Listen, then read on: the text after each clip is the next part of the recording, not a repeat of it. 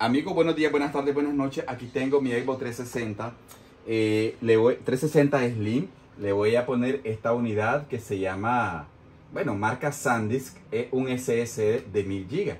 Vamos a verificar el almacenamiento que tengo para que ustedes pues vean, confirmemos que pues eh, que el almacenamiento que tiene es pequeño, es el original de 250 GB. Y vamos a ponerle el de 1000 GB, a ver qué tal. En almacenamiento, como pueden ver, está leyendo el dispositivo. Se los muestro encendido pues para que vean todo el proceso pues desde un inicio, ¿verdad? Ahí está. Bueno, como pueden ver acá, dice que tiene... Ah, bueno, solo aparece lo libre. Bueno, dice que tiene un disco duro interno, tiene 2.9 GB libre. Y, y, esa es, y aquí tiene este otro, unidad de memoria de 839 megas libre. Eso significa una cosa, amigos. Vamos a apagarlo. Eso significa que este Xbox 360 es de las versiones que venían sin disco duro, sino que solo venían con una unidad flash de 4 GB. Entonces alguien pues le, agregó alguien le agregó un disco duro como este, un disco original. O sea que al quitarle este disco de 250, él queda con una unidad siempre de 4 GB de flash, ¿verdad? Entonces ahora, ¿qué es lo que vamos a hacer? En este hueco vamos a insertar nosotros nuestro SSD de 1000 GB. Para hacerlo, Vamos a fijarnos bien cómo es que viene colocado y veo que viene de este modo. Entonces sería así, de este modo, ¿verdad? Con la etiqueta hacia arriba, con la etiqueta del nombre. Entonces vamos a, voy a, voy a, ayudarme con esta pequeña, es un estilo de tijera, tijera de, de cirugía, para ayudarme a colocarlo, ¿verdad? Porque los dedos, los dedos de uno, de mi caso, son todos, son torpes y entonces no alcanzo bien. Vamos a ver hasta que sienta, ahí, ahí siento que ya calzó bien, sí, se siente bien, como ven, ya quedó calzado, ¿verdad? Ya está. Ahora el proceso siguiente. Para hacer todo este procedimiento necesito algunas cosas como un lápiz y un pedazo de papel, porque tengo que anotar un código que el sistema pues me lo va a dar ahí para poder formatear. Si yo no tengo estas unidades eh, o el papel y el lápiz o no anoto ese código, no voy a poder pues darle formato pues, a la unidad. Vamos a esperar a ver si entra sin problema. La verdad es que no estoy seguro. Sí, ahí entró. Ahora vamos a, vamos a irnos al área de configuración, sistema, a ver si reconoce el almacenamiento en primer lugar. Y ahí está, amigo, la unidad flash. Aquí está la unidad flash que tiene 839 GB. Y la unidad que está sin formatear, que es la, la que le acabamos de poner. Para formatearla no podemos hacerlo directamente. Si yo me voy a formatear, formatear me va a decir que ah, dice que va a quitar todo el contenido, pero aunque ponga así, me va a pedir el número de serie de la consola, o sea que no es a la carrera. Así que voy a buscar el número de serie. ¿Dónde está? El número de serie está en configuración de consola y ahora me voy a ir aquí donde dice más abajo al final donde dice información del sistema y aquí me da el número de serie. El número de serie de esta consola, por ejemplo, es el 1319 eh, 9931 0408. Quiero, deben tener claro ustedes que cada consola tiene un número diferente, o sea que eh, el de su consola tiene que ser, no es igual a este, es diferente para que no copie este mismo, no le sirve, es diferente. Ahora sí me voy a formatear donde dice sí y ahora sí voy a introducir este número de serie, pues que me da la misma consola. Sería 1319. Vamos a ver si todo sale bien. 1319 9931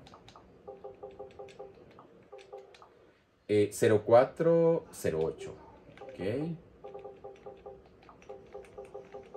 04 08. Presiono Start y bueno, esperamos que haga el formato y vamos a verificar que se formatee bien. Bueno, si esa barra llega al final. La verdad es que cuando ya está en este punto, cuando ya reconoce la unidad, amigos, ya es difícil que nos rechace la unidad. Ya está todo bien. Y como pueden ver, dice que tiene 889 GB libres. Amigo, le acabamos de poner ahorita a un Evo 360 Slim una unidad sólida de almacenamiento o SSD de 1 tera. La verdad es que eso es lo que reconoce. En unos videos que he mostrado cómo hacerlo a lo FAT, me han dicho, bueno, pero no vale la pena, pues y no porque una unidad, una unidad SSD pues vale más de 150 dólares, o sea, prácticamente lo mismo que vale la consola o un poco más. Y eso es cierto, amigos. La verdad es que eh, hacer esto no es una gran ganancia. Lo Xbox 360 al final no sirve mucho que le pongamos una unidad súper rápida si al final el sistema tampoco tiene tanta velocidad para procesar esa imagen o ese contenido en alta velocidad, ¿verdad? Entonces, con un disco o con una unidad mecánica de, de un tera, no tiene que ser un SSD, es suficiente para nuestra consola. O sea que, pero si ya tienen un dinerillo ahí que no hayan que gastarlo y quieren un SSD, pues perfecto. ¿En qué va a beneficiarnos? Al final, eh, ¿sirve en algo? Sí sirve en algo. A la hora de, iniciar la consola, inicia igual como si fuese un mecánico, pero a la hora que vamos a cargar los juegos, eh, siempre y cuando los juegos los tengamos en el SSD, eh, va a cargar un poco más rápido. O sea, el menú de carga, el inicio, empezar nuestra, nuestra batalla, nuestra aventura, se va a cargar un poco más rápido el inicio. Pero al final, al gamer, eso no es tan importante, el tiempo de carga inicial, porque de que les, eh, eh, no es tan importante esperar 30 eh, segundos para que cargue un juego si al final vamos a jugar 3 horas sin, sin levantarnos de la silla. ¿Verdad? Los 30 segundos no importan mucho. Pero bueno, lo que quiero decir con esto, amigo, es que el SSD tampoco no es una solución que yo sugiero que la hagan. Es una opción muy costosa y prácticamente innecesaria.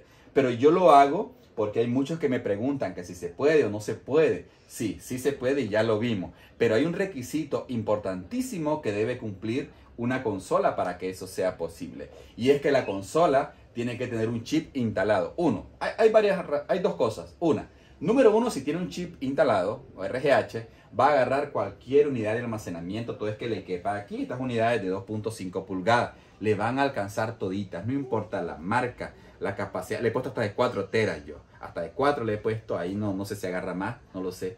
Entonces eh, eh, le he puesto de 20 gigas, imaginen, de 20 gigas y de 4000 gigas y las agarra sin problema. Entonces sin importar la marca, eh, siempre y cuando tenga chip.